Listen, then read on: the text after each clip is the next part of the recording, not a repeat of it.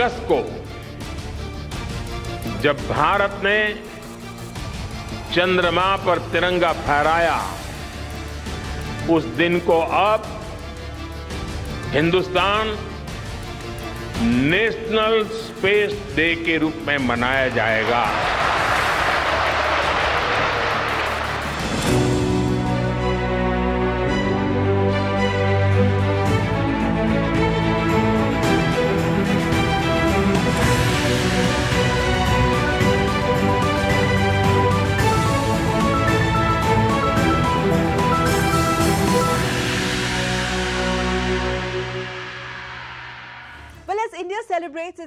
Its maiden National Space Day on 23rd of August with the theme Touching Lives While Touching the Moon, India's Space Saga, India also becomes the fourth country to land on the moon and first to land out its uh, South Pole. And this happened on 23rd August 2023. The stupendous feat achieved by ISRO scientists under the leadership of Prime Minister of India, Narendra Modi. On the special broadcast, we are very honored, very pleased to have Professor Satyanarayan Chakravarthy with us from uh, the Faculty in Aerospace Engineering Department, IIT Madras, and also co-founder of many of the high-profile startups at IIT Madras. Let's welcome Professor Satyanarayan on this uh, segment. Professor Satyanarayan, thank you very much, sir. You and your Thank you. team, we must tell our viewers that you and your team uh, are are the, the brains behind E-Plane Hyperloop uh, and uh, Agnikul uh, Tech project and the 3D printed rocket which was launched from ISRO, which got uh, national attention. It's such a pleasure talking to you, sir. Thank you so much. Thanks for having me. Let me uh, begin by congratulating you and your team once again. Uh, on the very uh, first National Space Day, uh, Professor Narayan, how do you see India's space surge, particularly in the last decade? Uh, you know, the humble beginnings of 1960s, there are very interesting visuals of Indian scientists operating from a very first mission control room in Kerala and transporting these rocket parts in bicycle and bullock cart till finally landing on moon's south pole. What a fantastic journey. Yeah. So if I were to actually hop, skip, and jump from the humble beginnings to the last decade, I would say there are essentially three epochs. Uh, the 1963 to 1970, uh, the Vikram Sarabhai years, where when you actually saw all of those bicycle rides and bullock cart rides and all of that stuff. And then the 1970 onwards to let's say about the 19 early 1990s, uh, where Satish Dhawan came in and he actually made a organization out of ISRO, in my view, uh, and and he's the one who actually streamlined the whole process and figured out the plan for the next couple of decades. And he is the one who actually got the SLV3 and the ASLV off the mark. The ASLV used to actually be a, a lot of failure. SLV used to be a failure. But I was actually a school kid and a college kid at that time. Mm-hmm. And what I found even then was they were actually planning for the PSLV. And the ASLV failures were what I call as well crafted failures from where they would learn how to do the PSLV right. Okay. And that actually stood them in very good stead. Now we can see for all, all the world to see, as a matter of fact, that we are actually now marching towards like about 60 consecutive successful launches, a record that nobody else has. And that's what has actually happened all the way from 1994 through to 2024, uh, with increasing launch frequencies from 2014 onwards. Yes, in fact, yes. the- Yeah, this, yeah. this is the three stages I would say has happened, uh, you know, from the early beginnings. Yes. But what has happened in the last decade is actually even more, even more fabulous. Yes. You mentioned 2014. Now, 2014 onwards, would you agree uh, the way it marked a stellar decade for India in space with a big push to very, very ambitious missions? Now, out of 424, at least 424 foreign satellites launched by India, 300 plus satellites, in fact, 389 roughly were sent up in the last nine years of the current administration. We also Right. see the way space budget has more than uh, you know doubled to give more impetus to the space sector. What do you think has? What do you think can be attributed to this tremendous space surge in last one decade? What was missing earlier? Well, you know, uh, two or three things. Number one, I think space captures the imagination of the public, and uh, that's actually very, very important in a democracy. And I think the prime minister actually captured that very well. And uh, and and for him, full credit credit to him because he actually fully utilized the fact that the the prime minister's office, the prime minister's position is actually directly impacting the space uh, Department of Space, uh, you know, historically, and uh, he actually gave so much push, and he's actually utilized it in his in his election campaigns. If you look mm. at what is you know, like for example, the publicity material from the government, forget about even the party, right? Even the government actually front ends space significantly towards, you know, uh, the, the nation's uh, progress. And that's actually a showcase that a lot of Indians, I mean, pretty much all Indians are very proud about. And that's a sensation that uh, has, has been capitalized and it's, a, it's, it's for good because space definitely actually marks an advancement mm-hmm. in science and technology for a country that like like no other and uh, that's something that's very important for the pride of young people and their imagination and their motivation and the inspiration that they get. Yes. Uh, so that's actually what I feel has been the key factor in the whole. And and these missions, uh, uh, and and particularly the missions that revolutionized India's space sector, Mangalyaan.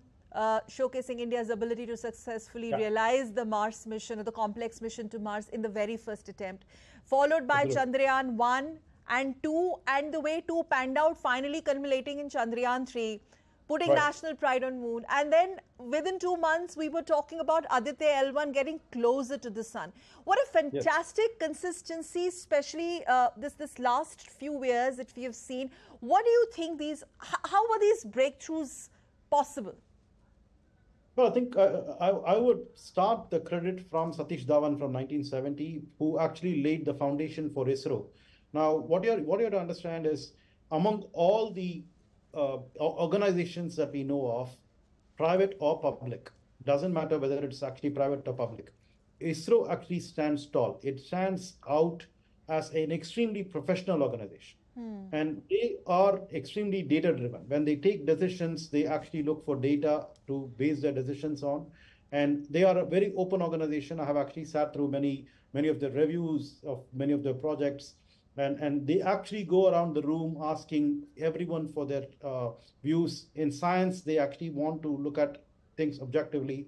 That has stood them in very good stead. That is number one. Second, the kind of pumping of uh, funding that is that has actually gone consistently at these, because one of the problems that we have had as a democracy in the past is kind of dragging our feet on asking questions like is space important for a developing country uh, you know do we have to go to the moon do we have to go to the go to mars because mm. starting from Vikram Sarabhai's times, we have this uh, idea that space has to definitely improve only the, the average Indian's life, which is fair.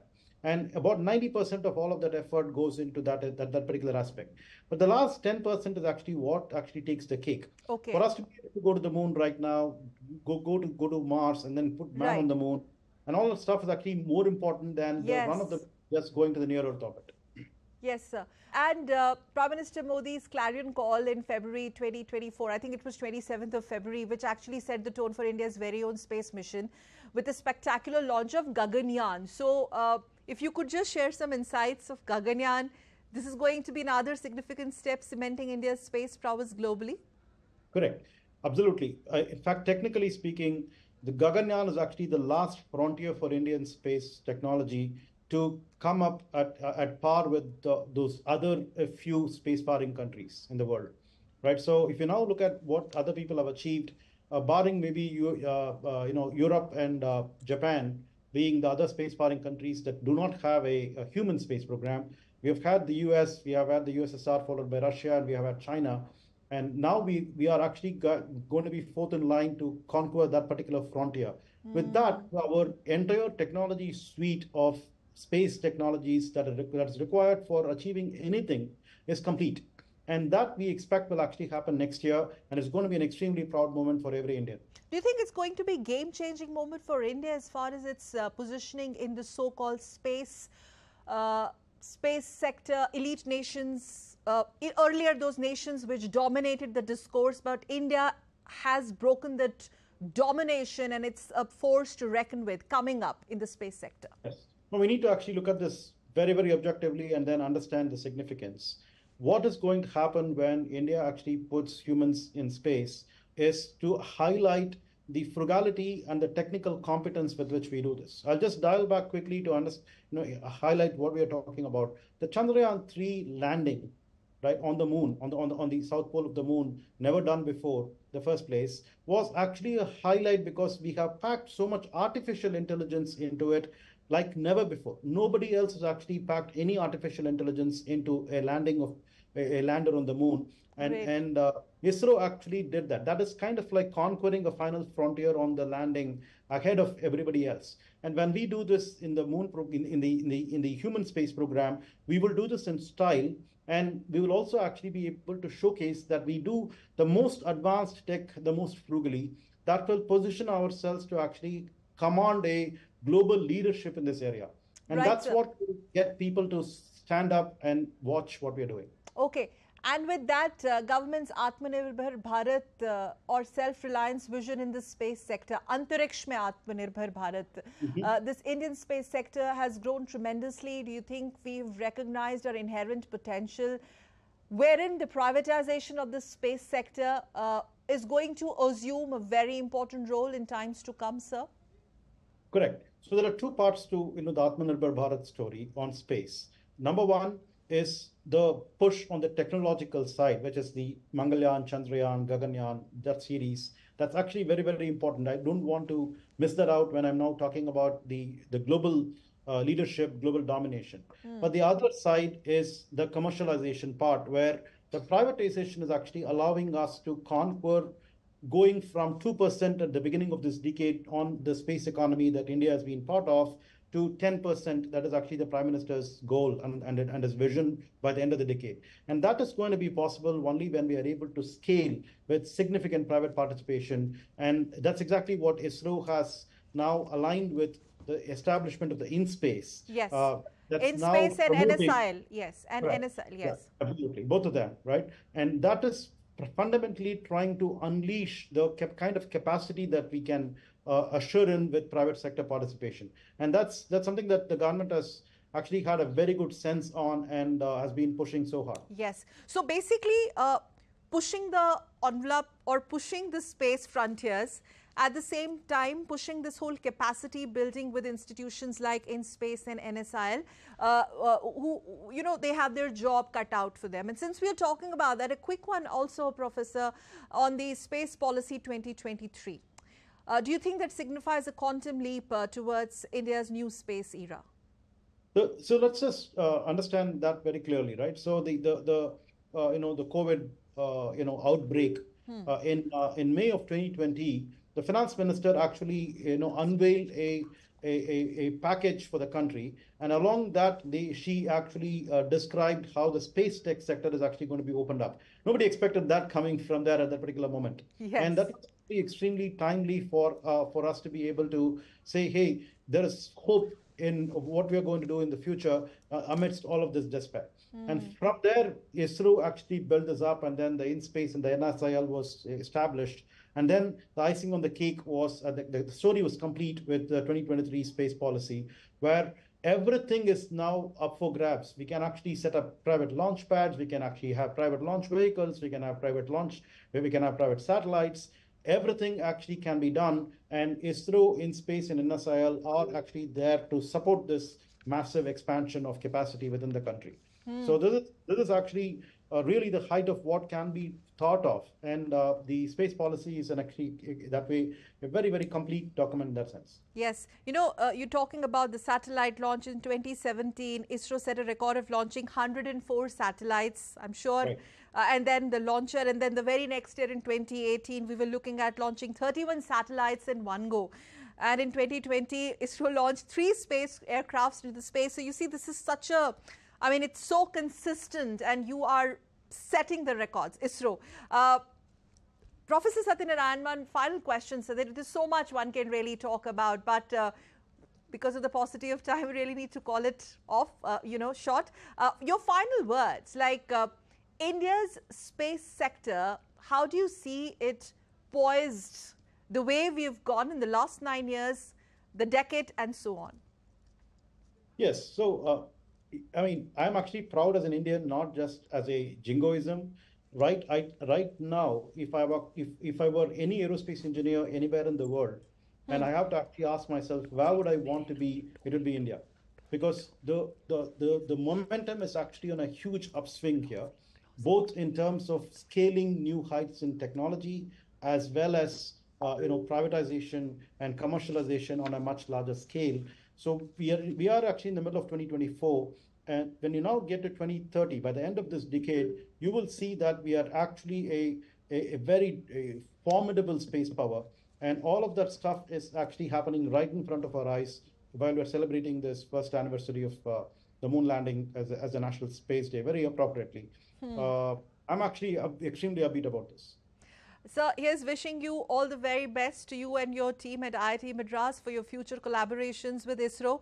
It was such a pleasure talking to you, Professor Satyanarayan. In fact, the way India has landed its pride on the moon and India continues to push the frontiers as far as space is concerned and scripting history in space itself. Professor Satyanarayan, thank you very much, sir, for joining us on this special broadcast. Thank you so much for having me. The pleasure was mine. Space के क्षेत्र में भारत एक बहुत बड़ा global commercial hub बनने जा रहा है। शुक्र भी इसरो के लक्ष्यों में से एक है। 2035 तक अंतरिक्ष में भारत का अपना स्पेस स्टेशन होगा, जो हमें स्पेस के अज्ञात विस्तार को जानने में मदद करेगा। इतना ही नहीं, इसी अमृतकाल में भारत का एस्ट्रोनॉट भारत के अपने रॉकेट से चंद्रमा पर भी उतरकर दिखाएगा।